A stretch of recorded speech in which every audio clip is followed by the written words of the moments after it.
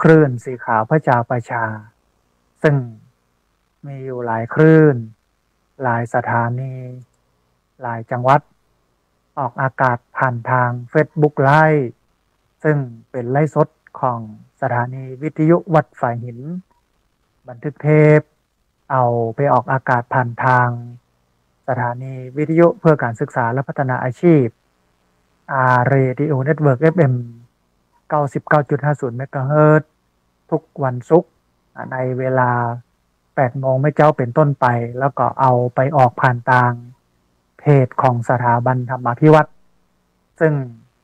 ช่องทางสุดท้ายต่างหลังนี้ ท่านผู้ฟังสามารถไปติดตามรับฟังย้อนหลัง ไปก๊อปปี้ลิงก์ไปคัดลอกลิงก์ส่งแชร์เอาไปให้กับญาติธรรมทั้งหลาย ได้ยินได้ฟังกันได้แถมตัวสาธุชนท่านผู้ฟังเขายังอยู่กันในบรรยากาศฤดูฝน ซึ่งมีฝนฟ้า ตกลงมาอย่างต่อเนื่องในฤดูกาลนี้นะฮะ ซึ่งต้องระมัดระวังเรื่องของดินโครนถล่มน้ำป่าไหลหลาก น้ำล้นตลิ่ง ซึ่งมากับฝนจะสร้างความเสียหาย สร้างความเดือดร้อนนะให้กับเผ่าเพราะฉะนั้นต้องป้องกันตันนี้แถมส่วนหนึ่ง ก็มีสัตว์นะที่มากับความเย็นของน้ำนะบอกว่าจะเป็นงูตะเข็บตะขับแมงป่องนะแล้วก็ส่วนที่สำคัญก็คือเรื่องของยุง ซึ่งเป็นพาหนะนำโรคบอกว่าโรคไข้มาเรียโรคไข้เลือดออกนะโรค ที่กุนคุณย่านะฮะเพราะฉะนั้นท่านผู้ฟังสิ่งเหล่านี้นะถ้าหากว่าเราป้องกัน มันก็จะสามารถแก้ไขปัญหาได้นะถ้าหากว่าเอาป้องกันเหตุร้าย มันก็จะมาเกิด แต่ถ้าเราบ่พอบ่ก้อยบาสนใจความเป็นไปของโลกมามีการวางแผนตั้งรับนะฮะมันก็จะทำให้เรานั้นมีความเสี่ยง ต่อการจะสูญเสียทรัพย์สินแล้วก็ชีวิต อันนี้ก็เป็นความห่วงใยจากรายการธรรมาพิวัตรอันเป็นรายการวิทยุเพื่อการเผยแผ่พระพุทธศาสนา ส่งเสริมการศึกษาและพัฒนาสังคมนะฮะท่านผู้ฟังก่อนที่จะเข้าสู่เนื้อหาสาระ ในวันนี้จะอู้เอ่ยกับท่านผู้ฟังอยู่เรื่องที่สำคัญเรื่องหนึ่ง ก็คือเรื่องของการมองโลก เรื่องของการมีทัศนคติที่ดีนะแล้วก็ ร่างกายเป็นบ่าวของใจ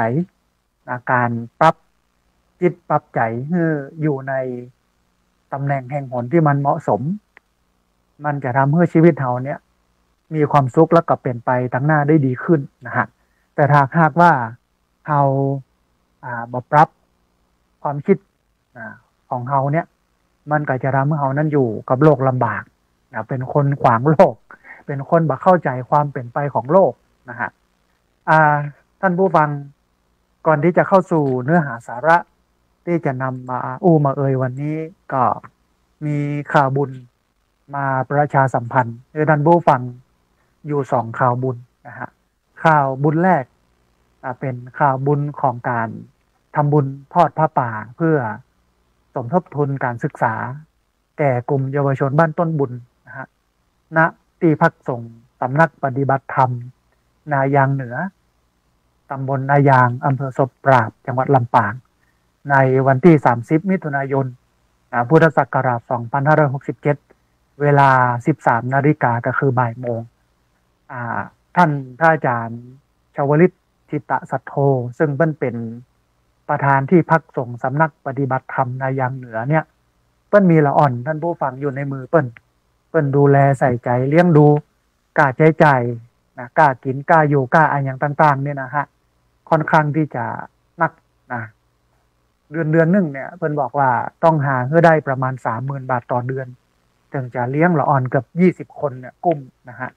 ละอ่อนสาวคนเนี่ยอยู่ในเปิ้ลเนี่ย ที่จะต้องจ่ายก็คือเรื่องของกับเข้ากับป๋า เจ้ากลางวันเย็นนะฮะแล้วก็รถรับส่งไปโรงเรียน เสื้อผ้าอาภรณ์อุปกรณ์การเรียนอะไรอย่างต่างๆ เยอะนะแล้วก็ละอ่อนเนี่ยที่อยู่ในเปิ่นเนี่ย ก็มาได้อยู่มาได้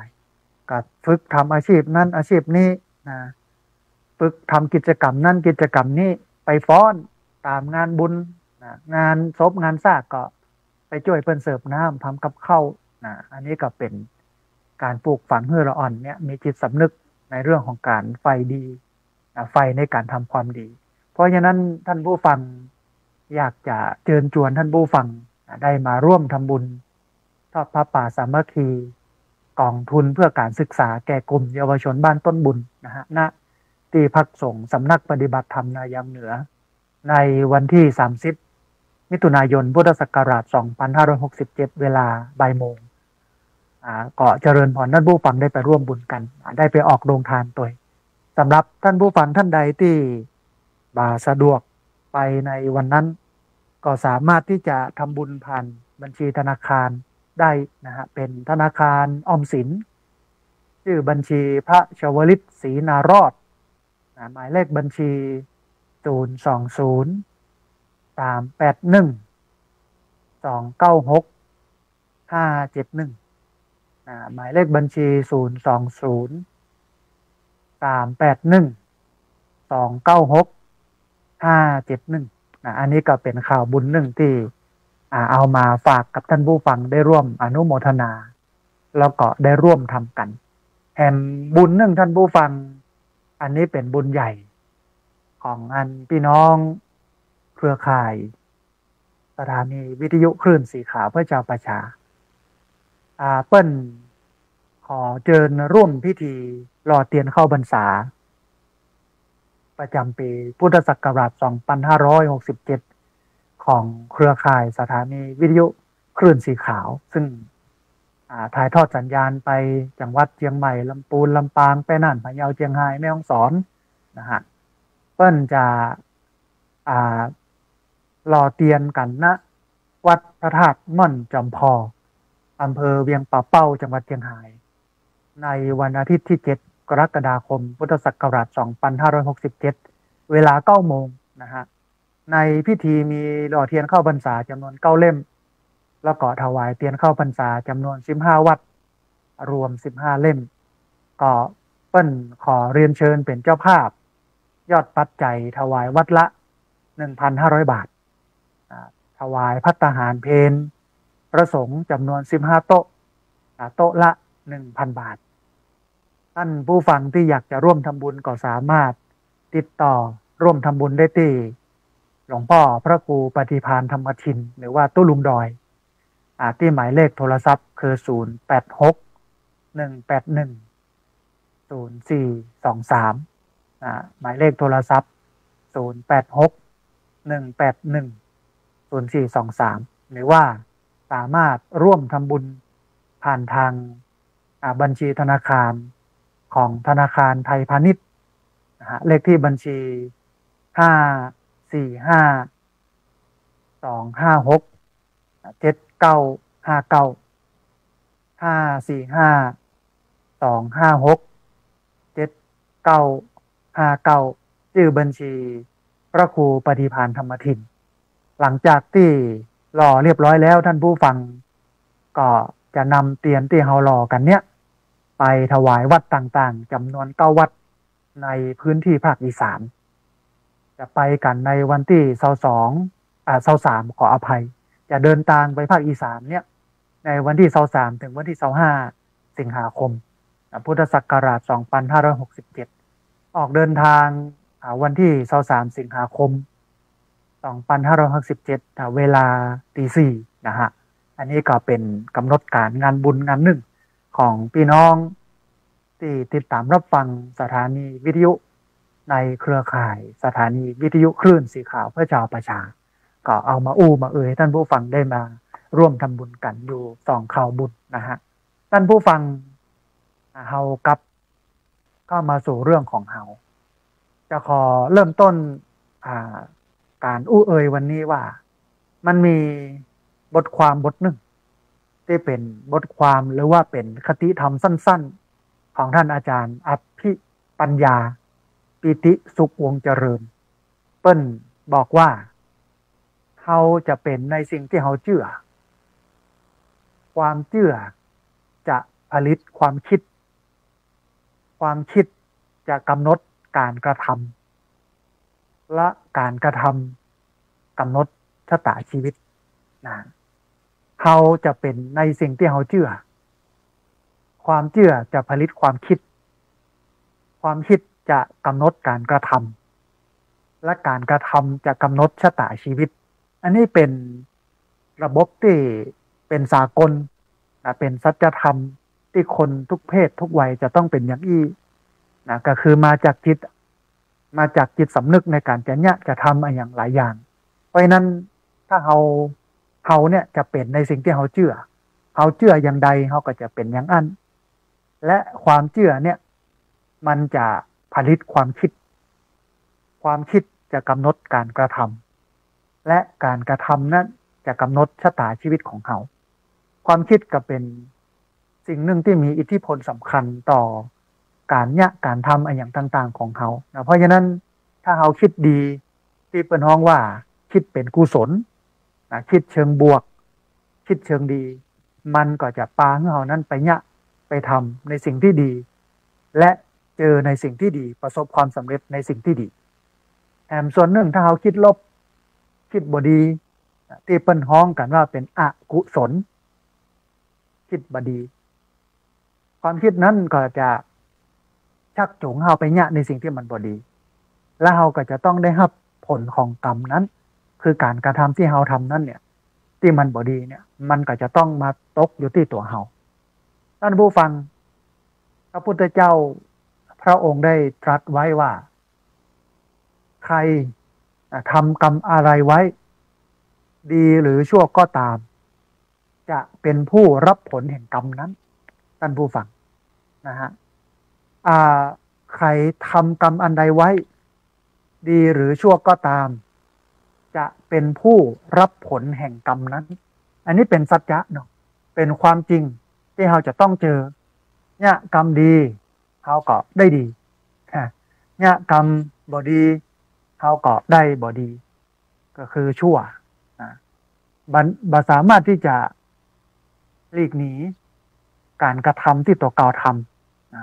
ได้บ่มีภัยสามารถหลีกหนีการกระทำที่ตัวเก่าทำได้ ทุกคนต้องเจอทุกคนต้องเป็นอย่างที่ว่ามานี้ท่านผู้ฟัง ทีนี้มันมีอันหนึ่งนะที่อู้เอ่ยถึงเรื่องนี้ได้ชัดพอสมควรท่านผู้ฟัง มันมีบทความที่อู้ถึงเรื่องของทัศนคติ หรือว่าความคิด ในเนี้ยเพื่อนบอกว่า มันเริ่มจากคำถาม ถามว่าเนี่ยอย่าง ทัศนคติที่ดี มีผลต่อความสำเร็จนักกว่าความเก่ง อ่าท่านผู้ฟัง ฟังพอแล้วมันมีสิมีความเปลี่ยนไปได้หรือว่าเข้าท่าเข้าทางดี ก็คือเนี่ยอย่างทัศนคติที่ดี มีผลต่อความสำเร็จนักกว่าความเก่งเพื่อนก็เฉลยมาบอกว่า เพราะคนสำเร็จมาได้เก่งที่สุด และเป็นคนที่มีทัศนคติทัศนคติที่ดีต่างหากนะฮะถ้าฟังจากกันเนี่ย ท่านผู้ฟังเขาจะหันว่า ทัศนคติของคนเนี่ย มันเป็นสิ่งใหญ่เป็นสิ่งสำคัญ แล้วก็เป็นสิ่งที่มันกำหนดความเปลี่ยนไปของชีวิต เพราะฉะนั้นจะเฮือดีเนี่ยเราจำเป็นอย่างยิ่งที่จะต้องฝึกตัวเฮานี่คือเป็นคนที่มีทัศนคติที่ดีเออเป็นคนที่คิดเก่งนะฮะเพื่อมันกู้กันอะเป็นความเก่งแล้วก็ทัศนคติที่ดี อ่า มันมีงานวิจัยท่านผู้ฟัง งานวิจัยที่มันโดดเด่น ที่มันสนับสนุน แนวความคิดนี้ คือการศึกษาของสแตนฟอร์ดสแตนฟอร์ดเนี่ยเป็นมหาวิทยาลัยชั้นนำของประเทศสหรัฐอเมริกา ซึ่งเปิ้นติดตามความก้าวหน้าของนักเรียน กว่า 600 คน ตลอดช่วงเวลาซาวปีผลการศึกษาเนี่ย เปิ้นปะว่า คนที่ประสบความสำเร็จอย่างสูง ในชีวิตการทำงานนั้นเนี่ยบ่ได้เป็นผู้ที่มีไอคิวหรือว่ามีความคิดสูง แต่กลับกลายเป็นคนที่มีทัศนคติเชิงบวก เป็นคนที่มีความมุ่งมั่น แล้วก็มีแรงบันดาลใจสูงนักกว่าคนอื่นๆนะคนที่ประสบความสำเร็จเนี่ยเพิ่นจะมีอยู่สามอย่างสี่อย่าง ก็คือหนึ่งอันรับอันดับแรกที่จะต้องมีก็คือมีทัศนคติเชิงบวก มองโลกในแง่ดี ถ้าเป็นพุทธเฮาเนี่ยก็ต้องบอกว่าต้องมองโลกตามความเป็นจริง เหมือนที่พระพุทธเจ้าได้ตรัสไว้ว่ายะถาภูตะยานัทสนะนะมองโลกในแง่บวก หรือว่ามองโลกตามความเป็นจริง มองเมื่อหันตามความเป็นจริงถึงวันนี้เรามองโลกเราบ่ได้หันความเป็นจริง เพราะ เรามองโลก อยากจะให้โลกเป็นไปตามความคิดของเขาแต่ท่านบูฟังเขามองโลกเนี่ยอยากจะให้โลกเป็นไปตามความคิดของเขา แต่โลกมันก็เป็นของมันอย่างนั้นตกอยู่ในกฎของสัจธรรมก็คือเกิดขึ้น ตั้งอยู่แล้วก็ดับไป คือมันเป็นอย่างนั้นมันเป็นอย่างนั้นนะฮะแต่ถ้าหากว่าเรามองโลกตามความเป็นจริง ที่ภาษาบาลีเป็นห้องว่า ยะถาภูตะ ยานทัศนะเนี่ยเขาก็จะหันความจริงของโลกนะฮะคนที่เปิ้นเป็นคนเก่ง คนที่เปิ้นเป็นคนประสบความสำเร็จเนี่ยเพิ่นจะมองโลกในเชิงบวกมาได้มองโลกในเชิงลบมาได้มองโลกในแง่ลบ แต่ว่ามองโลกในเชิงบวกแถมอันหนึ่งนอกจากการมองโลกในเชิงบวกแล้ว คนที่เปิ้นประสบความสำเร็จเนี่ย จะต้องมีความมุ่งมั่นท่านผู้ฟัง ในความมุ่งมั่นเนี่ย มันก็จะมีความอุตสาหะเนาะที่เฮาฮ้องกันเป็นกู้อะวิริยะกับอุตสาหะ มีความเพียรความพยายาม บวกความอดทนไปตัวความอดทนไปตัวบวกความมุ่งมั่นตั้งใจบ่ท้อถอยไปตัวถ้าหลักการนี้เนี่ยเราจะเอามาใจเนี่ย ก็คือรักของ ฉันทะ วิริยะ จิตตะ วิมังสา ที่เราห้องกันว่าธรรมะที่นำไปสู่ความสำเร็จ ใครใครประสบความสำเร็จ ใครใครมีความสำเร็จต้องเอาหลักธรรมนี้ไปปฏิบัติกันหนึ่งคือมีฉันทะ มีความพอใจ มีความพักที่จะทำมีความพอใจที่จะทำอันนี้คือมีฉันทะ มีวิริยะคือมีความเพียร ความพยายามความอดทน มีจิตตะ ความตั้งใจมั่น มีจิตใจจดจ่อแน่วแน่ อยู่กับสิ่งที่ยากแต่มันก็ยากในยุคปัจจุบัน คนเฮาสมาธิสั้นท่านผู้ฟัง อ่า หลายวันก่อนเนี่ย เห็นศาสนาคริสต์นี่มันนี่อ่านิกายโรมันคาทอลิก อ่ารู้สึกว่าจะเป็นพระ ของคริสต์ระดับสูง เปิ้นก็บอกว่า ต่อไปนี้นักบวชคริสต์บ่ต้องเตะเมินบ่เกินสิบห้านาทีเปิ้นคงจะรู้ว่า คนณปัจจุบันวันนี้สมาธิสั้น เพราะว่ามันมีเหตุมีปัจจัยในการดึงจิตของเขาขึ้นไหลไปตามเรื่องราวตามสถานการณ์มันก็เลยทำให้ใจบ่ค่อยมั่น ใจบ่ค่อยนิ่งนะฮะ อันนี้คือจิตตะ ท้ายที่สุดก็คือวิมังสานั่นบูฟัง วิมังสานี่แปลว่า การคิดการพิจารณาการตรวจสอบ การทบทวนรวมกันในเนี้ยวิมังสาเนี่ย มีการพิจารณา มีการตรวจสอบอแล้วก็มีการวิเคราะห์ พิจารณา อันนี้คือวิมังสาแปลว่าเฝ้าคอยตรวจตา ก็รวมอยู่ในความมุ่งมั่นนี้นะครับแล้วก็แหมอันนึ่ง คนประสบความสำเร็จ จะต้องมีก็คือ ต้องมีแรงบันดาลใจสูงนักกว่าคนอื่น ท่านผู้ฟัง ในความมีแรงบันดาลใจสูงนักกว่าคนอื่นเนี่ย มันก็เป็นตัวชี้วัดอันหนึ่งของคนที่ประสบความสำเร็จ คือถ้ามีแรงบันดาลใจน้อยเนี่ย มันก็บ่มีพลังนะมันไม่มีความทะยานอยากในการไปเนี่ยไอ้อย่างให้มันสำเร็จ แต่ถ้ามีความ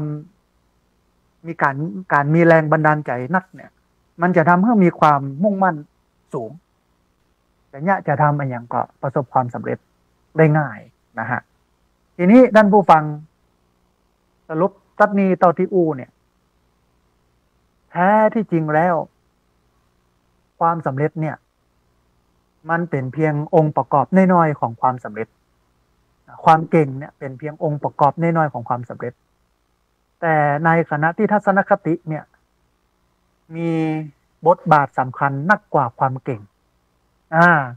เพราะฉะนั้นวันนี้เนี่ย คนที่เปิ้ลประสบความสำเร็จเนี่ย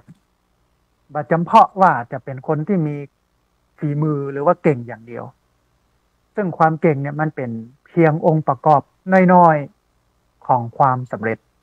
แต่ว่า ทัศนคตินี่ต่างหากท่านผู้ฟังกำกึดเนี่ยต่างหาก มันมีบทบาทสำคัญนักกว่าความเก่ง เพราะว่าเปิ้ลพิสูจน์กันมาแล้วหกร้อยกว่าคน ใช้เวลาในการพิสูจน์ซาวปีของมหาวิทยาลัยสแตนฟอร์ด ประเทศสหรัฐอเมริกา คนที่มีทัศนคติดีเนี่ย ประสบความสำเร็จนักกว่าคนที่เก่ง และเปิ้ลสรุปออกมาว่า ความเก่ง เป็นเพียงองค์ประกอบน้อยๆของความสำเร็จ ในขณะที่ทัศนคติเนี่ย มีบทบาทสำคัญนักกว่า มันเป็นอย่างไรท่านผู้ฟัง ก็จะมีอยู่ประมาณสักสามสี่ข้อ ในการให้คำอธิบายเรื่องนี้นะฮะข้อแรกเพื่อนบอกว่า ทัศนคติเนี่ยกำหนดการมองโลก ทัศนคติเนี่ยกำหนดการมองโลกเขามีทัศนคติอย่างใดเขาก็จะมองโลกอย่างนั้น มีทัศนคติที่ดีก็มองโลกในแง่ดี ทัศนคติบอกค่อยดีก็มองโลกในแง่ร้าย บางครั้งบางทีบาหันความเป็นจริงบาหันความเป็นไปของโลกก็ได้นะฮะทีนี้ท่านผู้ฟัง เมื่อเขามีทัศนคติดี เขาจะ มองเห็นโอกาส แล้วก็แนวทางใหม่ ๆ แต่หากมีทัศนคติเชิงลบ จะมองบาหันโอกาส ที่มันเกิดขึ้นในรอบตัวเราอ่าอันนี้คือสิ่งที่สำคัญนะ เรื่องทัศนคติเนี่ยกำกึดเป็นสิ่งที่สำคัญ ทัศนคติเป็นสิ่งที่สำคัญ ความสำเร็จเนี่ย ท่านผู้ฟังบาใจว่าอ่า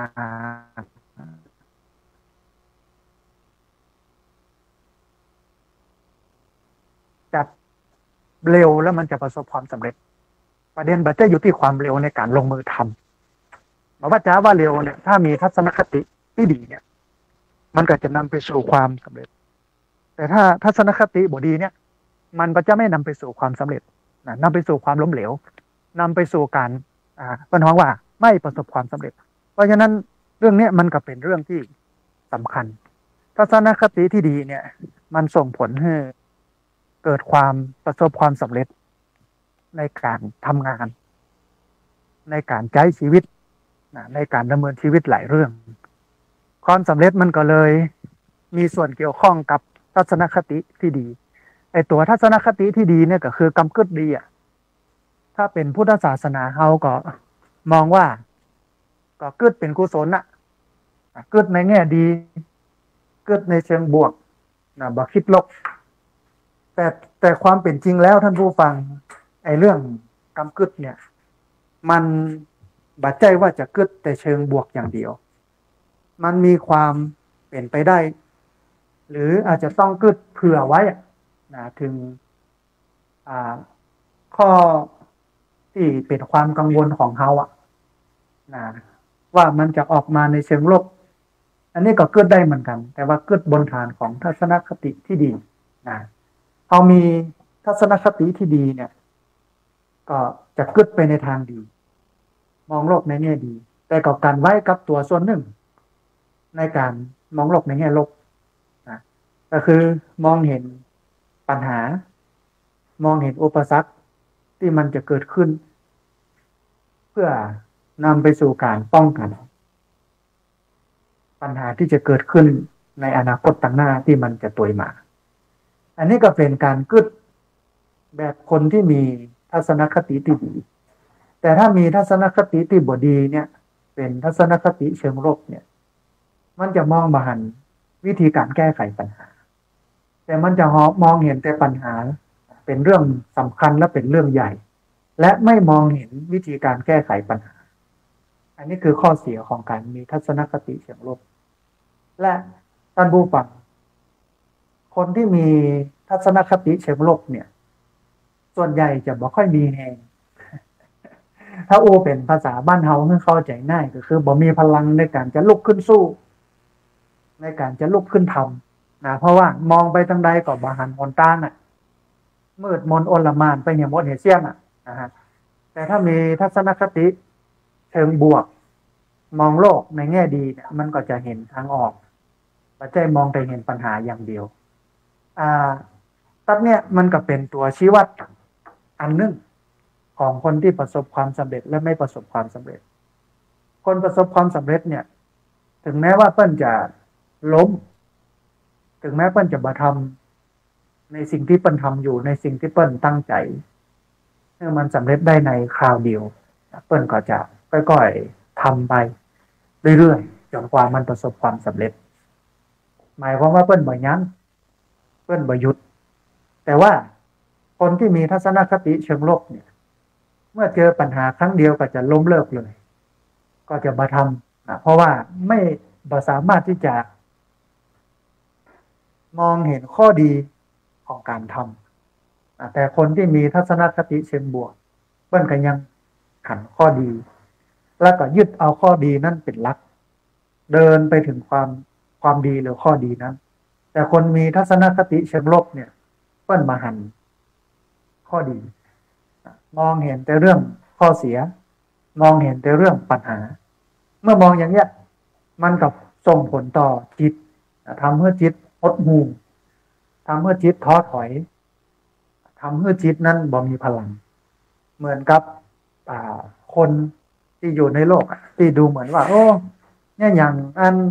เหมือนว่าบอกค่อยมีแรงบันดาลใจ พิษหวังอกหักล้มก็บ่สู้เห็นนะบ่ลุกขึ้นสู้นะฮะอันนี้ก็เป็นอันหนึ่งที่อาตมาภาพอยากจะบอกกับท่านผู้ฟังว่า จิตเป็นนายกายเป็นบ่าว ความสำเร็จมันอยู่ที่จิตนะถ้าจิตของเขาเป็นกุศลจิตของเขากึดดี โอเป็นภาษาวิชาการง่าย ๆ ก็คือ คิดคิดในเชิงบวกเนี่ย เขาจะมีความสำเร็จ รออยู่ทางหน้า แต่ถ้าบอกคิดเชิงบวก คิดเชิงลบ คิดในแง่บดีเรื่อยๆเรื่อยๆเรื่อยๆสะสมในจิตใจ ล่าตำล่านี่ท่านผู้ฟัง ก็จะเป็นคนที่ อ่า เป็นโรคซึมเศร้าอ่าประสบความสำเร็จบอกกล้าเนี่ยบอกกล้าทำอะไรอย่างเพราะว่ากลัวบ่สำเร็จ อันนี้ก็เป็นข้อเสียของการมองโลกในแง่ลบ แต่บ่ได้หมายความว่าบ่ฮือญาติโยมกึดในเชิงลบ แต่ทีนี้เวลาเรามองโลกแล้วกึดในเชิงลบเนี่ย ต้องกึดในเชิงป้องกันนะว่ามันจะเกิดขึ้นแล้วจะป้องกันอย่างไร จะแก้ไขอย่างไร เพื่อให้สิ่งที่เราคาดการไว้ถ้ามันเกิดขึ้นแล้ว จะสามารถป้องกัน แก้ไขปัญหาที่จะเกิดขึ้นได้นะอันนี้คือข้อแรกนะฮะข้อที่สองท่านผู้ฟังเพิ่นบอกว่า ทัศนคติเนี่ยเป็นแรงขับเคลื่อนพลังงาน เมื่อมีทัศนคติเชิงบวก จะมีพลังพลักดันคือมุ่งมั่นแล้วก็อดทนต่อปัญหา อุปสรรคต่างๆ มันมันเป็นพลังงานที่สำคัญ และมันสั่งสมไว้ในใจ ถ้าเรามีทัศนคติเชิงบวก มองโลกในแง่ดี มองโลกตามความเป็นจริง เขาก็จะมีพลังทักดันคือมุ่งมั่นแล้วก็อดทนต่อปัญหาและอุปสรรคต่างๆ แน่นอนว่าในการเดินทางไปสู่ความสำเร็จเนี่ย มันมีตึงปัญหา มันมีตึงอุปสรรค มันมีตึงขั้นตึงนี้เข้ามา เยอะแยะมากมาย แต่ถ้าหากว่าเขามีทัศนคติเชิงบวก เขาจะผ่านปัญหา เขาจะผ่านอุปสรรคเราจะผ่าน เรื่องราวที่มันเป็นสิ่งเลวร้ายได้ด้วยความอดทนต่อปัญหาและอุปสรรคต่าง ๆ มีละอ่อนคนหนึ่งท่านบูฟัง เป็นลูกศิษย์แล้วก็ไปยะการนะเขาก็จมตอนแรกวุ่นวายหลายเรื่องโน้นนี่นั่นอะไรยังต่างๆนี่เนาะอาดามาภาพก็โอ้คำเดียวว่าอดทน ถ้าทนบ่ได้ก็จะเป็นแค่ทาน ทานได้ก็จะเป็นเพชร เพราะ ทานกับเพชรเนี่ยมาจากธาตุเดียวกัน ก็คือคาร์บอนถ่านมันผ่านการเผา มันผ่านความร้อนหน่อย ส่วนเพชรมันผ่านการเผา มันผ่านความร้อนสูง คาร์บอนเหมือนกันนะผ่านความร้อนผ่านการเผาน้อยก็เป็นถ่าน แต่คาร์บอนแถมอันหนึ่งเนี่ย ผ่านการเผาผ่านความร้อนนักก็เป็นเพชรนะเพราะฉะนั้นท่านผู้ฟัง ทัศนคติ เชิงบวกเนี่ยมันเป็นแรงขับเคลื่อนพลังงาน เมื่อเรามีทัศนคติเชิงบวก จะมีพลังผลักดันให้มุ่งมั่นแล้วก็อดทนต่อปัญหาและอุปสรรคต่างๆชิ่งยุคนี้ท่านผู้ฟังต้องมีความอดทนสูงมาก ต่อความเปลี่ยนแปลงของโลก โดยเฉพาะราคาวานี้เดินทางไปเชียงใหม่ ไปประชุมที่ มหาวิทยาลัยเชียงใหม่ก็เติมน้ำมันไปหนึ่งพันบาท ปกติเนี่ยเติมน้ำมันหนึ่งพันบาทนี่เกือบจะเต็มถังแล้วลูก แต่ว่าเอาไปเอามาก็ได้เกินถัง ครึ่งถังนะมันมันหายไปสี่สิบเปอร์เซ็นจากราคาน้ำมันที่มันพุ่งสูงขึ้นอ่าแต่คืนนี้ก็ขึ้นนะฮะกับเบนซินเนี่ยสามสิบแปดบาท ดีเซลสามสิบสามสามสิบหกประมาณนั้น ดีเซลสามสิบสามกว่าบาทแล้วก็ หมูจีน หมูพัก หมูไข่ หมูเครื่องปรุงกะปิ น้ำปลา น้ำมันพืชซอสขึ้นราคาตัวกันเป็นแถวนะฮะมันต้องใจความอดทนแล้วก็ใจทัศนคติเชิงบวกในการมองโลกในการดำเนินชีวิตนะฮะอันนี้ก็คือข้อที่สองข้อที่สามท่านผู้ฟังเพิ่นบอกว่า ทัศนคติ มันสร้างแรงดึงดูดคนอื่น เมื่อเขาเป็นคนที่มีทัศนคติดี เขาจะได้รับการสนับสนุน และการพักดันจากผู้คนรอบข้าง ซึ่งมันเป็นปัจจัยหนึ่งของความสำเร็จ มนุษย์เป็นสัตว์สังคมท่านผู้ฟังการจะประสบความสำเร็จได้เนี่ย มันต้องมีคนกั้มคนจูลูก คนทำงานทั่วไปเนี่ยอารามาภาพก็บอกว่าหลักสูตร ในการทำงานเพื่อประสบความสำเร็จ ของคนทั่วไปก็คือเจ้านายดึง ลูกน้องดัน คนเสมอกันประคับประคอง ถ้า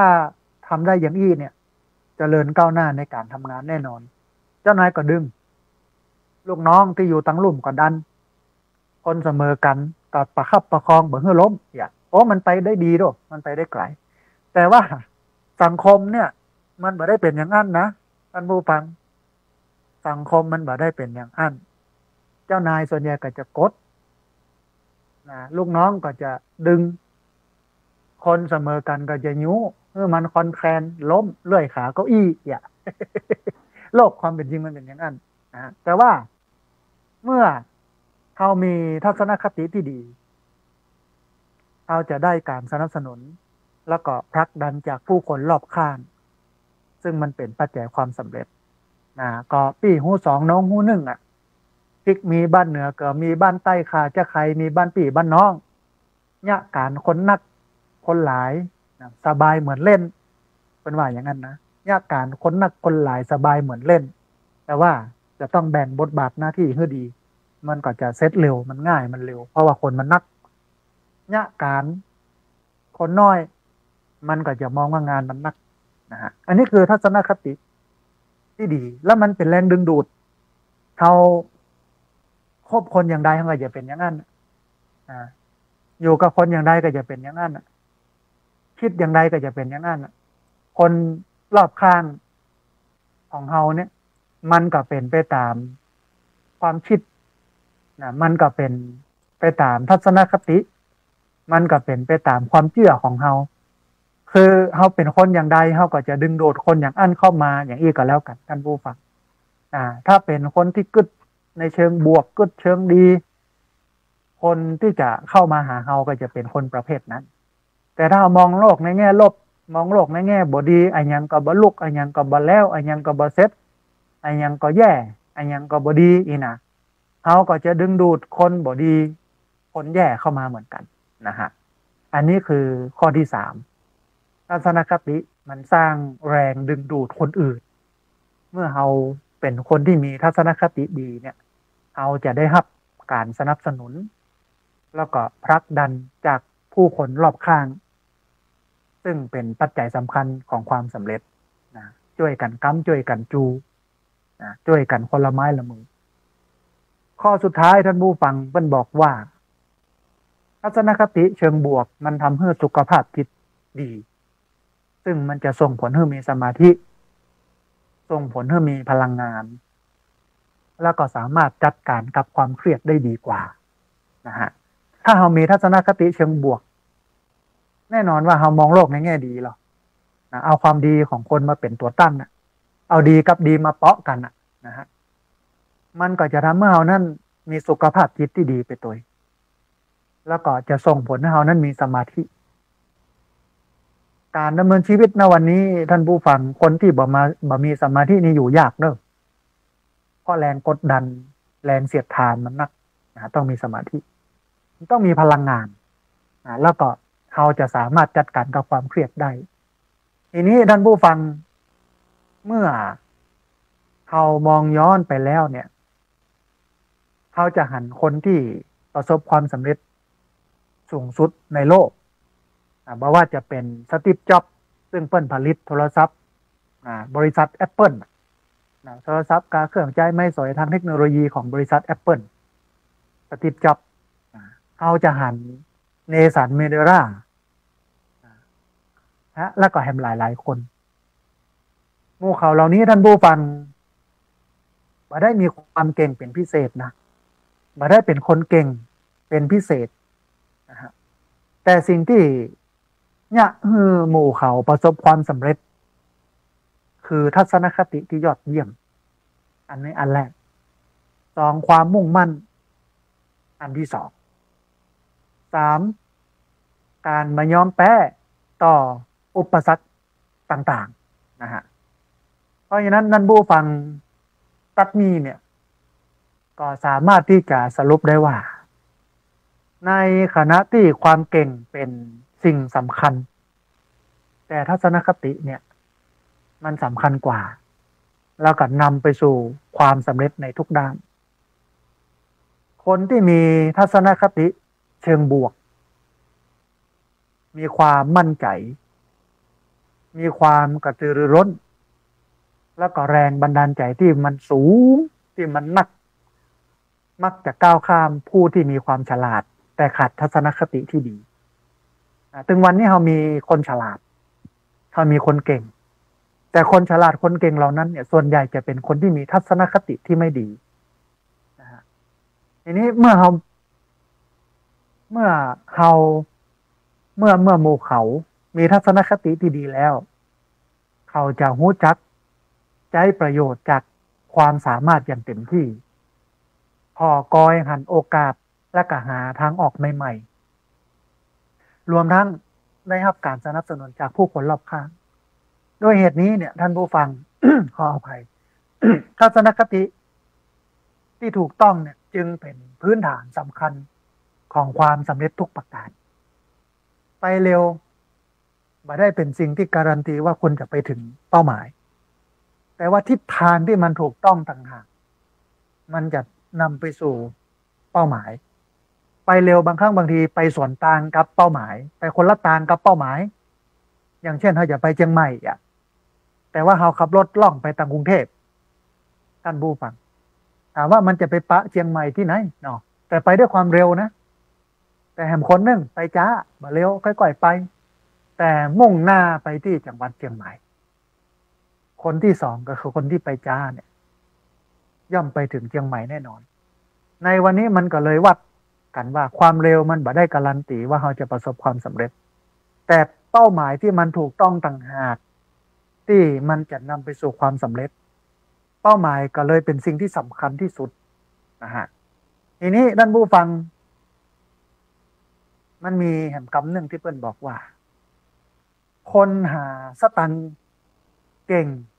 ที่รวย แล้วก็คนหนึ่งเปอร์เซ็นที่หาเงินเก่งที่สุด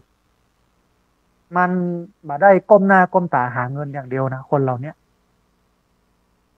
ทำงานนักแล้วก็บ่มีความสุขอย่างที่เขากึดแต่ว่าตรงกันข้ามกับคนที่มีรายได้สูง มันมีความสุขที่สุด แล้วก็มีชีวิตที่ดีที่สุด เพราะอย่างเพราะว่าวิธีการหาเงินของหมู่เขาเนี่ยฉลาดกว่าคนธรรมดา และก็เครื่องมือที่หมู่เขาใช้ในการหาเงินเนี่ยมันฉลาดกว่าคนอื่น นะฮะตับเนี่ยท่านผู้ฟังมันเป็นข้อสรุปได้อย่างหนึ่งว่าเนี่ยอย่างทัศนคติที่ดีมันมีผลต่อความสำเร็จมากกว่าความเก่งเพราะว่าคนเก่งนั้นมันไม่ได้เก่งที่สุด แต่เป็นคนที่มีทัศนคติที่ดีที่สุดต่างหาก ทัศนคติเป็นสิ่งสำคัญ เหมือนที่พุทธศาสนาบอกว่าจิตเป็นนายกายเป็นบ่าว จิตนำชีวิตเราไป เหมือนที่พุทธเจ้าตรัสไว้ว่า มโนบุพังเข้ามาทำมา มโนเศรษฐามโนมายาเป็นต้น อ่าล้องัว มันตยหอยงัว ที่มันเตียวไปทางหน้า อย่างอี้ตลอด งัวไปทางใดมันก็ไปทางนั้น งัวยุดล้องัวก็ยุด งัวถอยล้องัวก็ถอย งัวไปทางหน้าล้องัวก็ไปทางหน้า เพราะฉะนั้นการรักษาจิต การพัฒนาจิตเป็นสิ่งที่สำคัญ แล้วพระพุทธศาสนาเป็นก็มอบสิ่งเหล่านี้ให้หมดแล้ว การฝึกจิตเนี่ยพระเจ้ามอบเรื่องของสมาธิไว้ให้ให้จิตมันสงบมันร่มเย็น มันสุขมันสบายเข้าตีเข้าตางแล้วก็มีปัญญาด้วยนะพุทธศาสนาเนี่ยเอาไว้ให้มีทัศนคติในเชิงบวก กับพี่น้องชาวพุทธแต่ปัญหาวันนี้ก็คือว่า ชาวพุทธเฮาเองบอกค่อยสนใจเรื่องโมนี้ ไปสนใจเรื่องบ้าบอคอแตก เรื่องอิทธิฤทธิปฏิหารดนบันดาลปูนซึ่งมันเป็นเรื่องเพ้อฝันนะมันเป็นจริงไม่ได้ คือต่ว่านี่ก็อู้กับคนขับรถอะ ตอนที่ลูกเชียงใหม่มาก็อู้กันในรถ ก็บอกว่าถ้าไปขอแล้วมันได้แต่นี่นะมันก็คงบ่มีครัวบ่มีที่เก็บครัวของคนในโลกเนี้ยธรรมาภาพก็เลยอู้กำกรไปบอกว่า เมื่อเราได้ทุกอย่างดังที่คิด สิ้นชีวิตจะเอาของกองไว้ไหน จะได้บ้างเสียบ้างช่างปะไร กรรมของใครก็ของมันเท่านั้นเองเพราะฉะนั้นต้องมุ่งมั่นฮะพุทธศาสนาเป็นศาสนาของการลงมือทำหรอก เป็นเรื่องของการเอาแต้มอย่าเอาเล่น เป็นเรื่องของการต้องใจเหื่อใจใครใจกำลังเข้าไปแลกไม่ใช่ว่านั่งอยู่บ่ได้แล้วมึงจะขอเปิ้นจะร่ำรวยมั่งคั่งไม่มีครับพุทธศาสนาบ่มีอย่างนี้ เป็นศาสนาของกรรมวาทีที่ต้องใช้การกระทำเป็นศาสนาของวิริยะวาทีต้องอาศัยความเพียรเป็นศาสนาที่มุ่งตรงในเรื่องของอัตตาหิอัตตโนนาโถ ตนแลเป็นที่พึ่งของตน ไปเปิ้งเทวดา ไปเปิ้งเทพ เปิ้งพรหมยมยักษ์เปิ้งพระพุทธรูปเปิ้งบ่ได้ครับ ไม่มีจริงนะเป็นเรื่องหลอกลวงนะฮะแต่ถ้าเราเปิ้งตัวเก่าเนี่ย ความสำเร็จหรือความสุขจะเจอแน่นอน เอาละท่านผู้ฟัง ขณะนี้ท่านผู้ฟังกำลังติดตามรับฟังรายการธรรมทิวัตร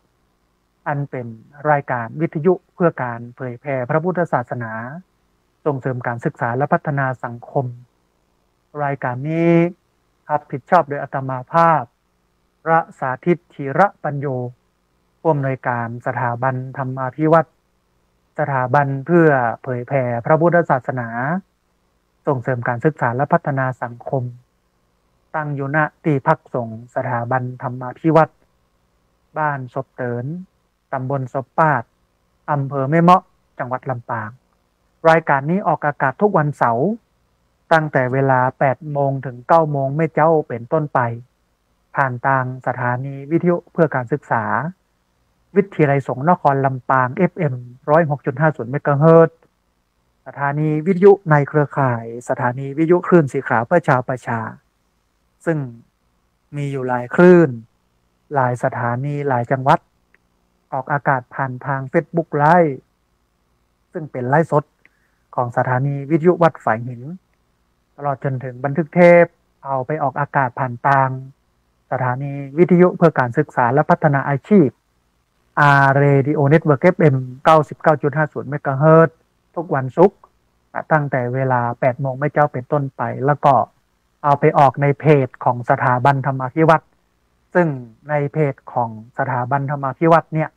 ท่านผู้ฟังสามารถไปติดตามรับฟังย้อนหลัง ไปก๊อปปี้ลิงก์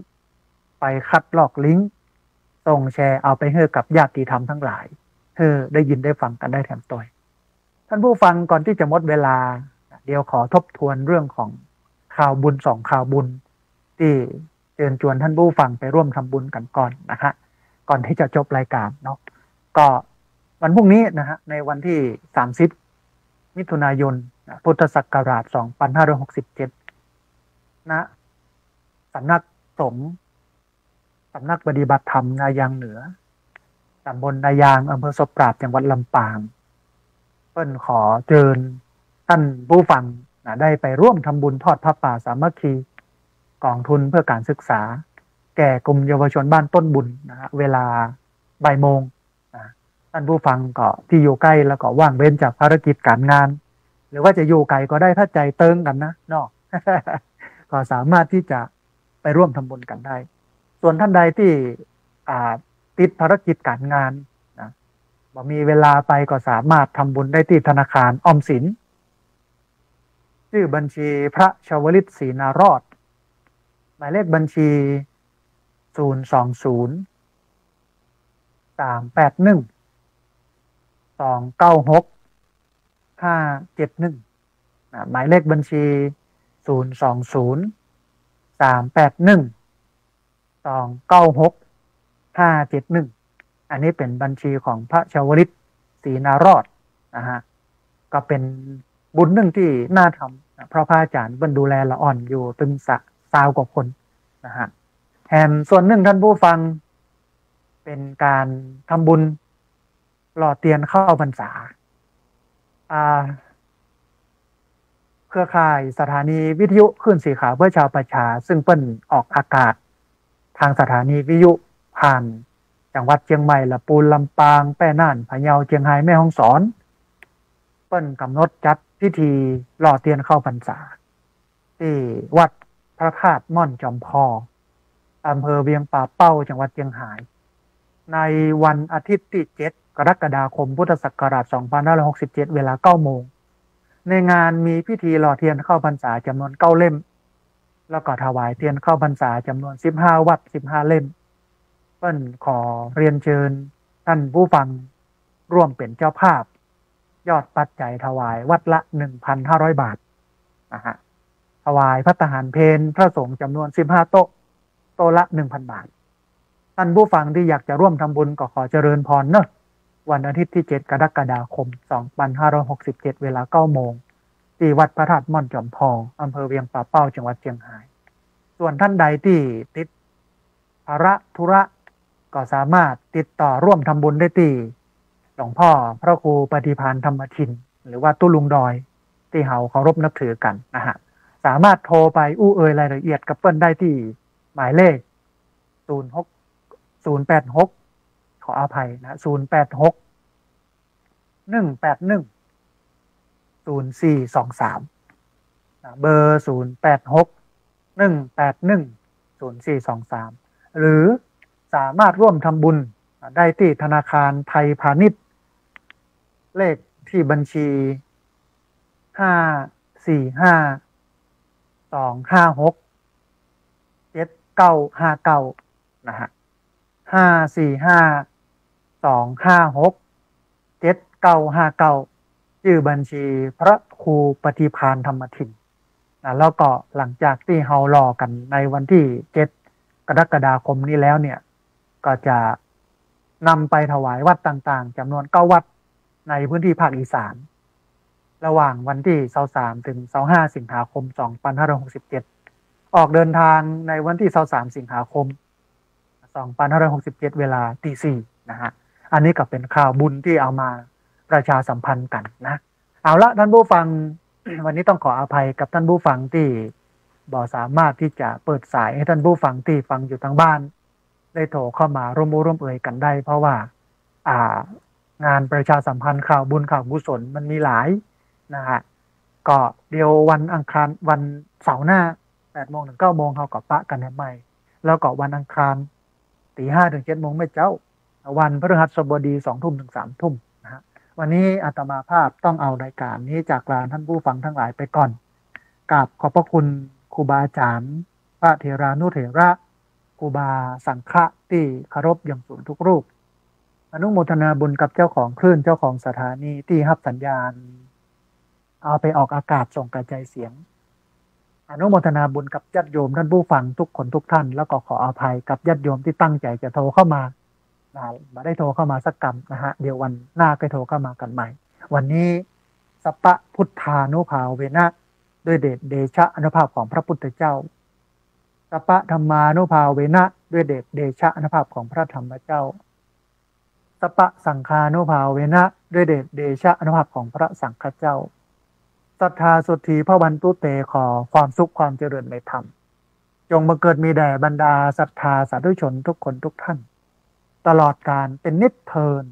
จะเริญพร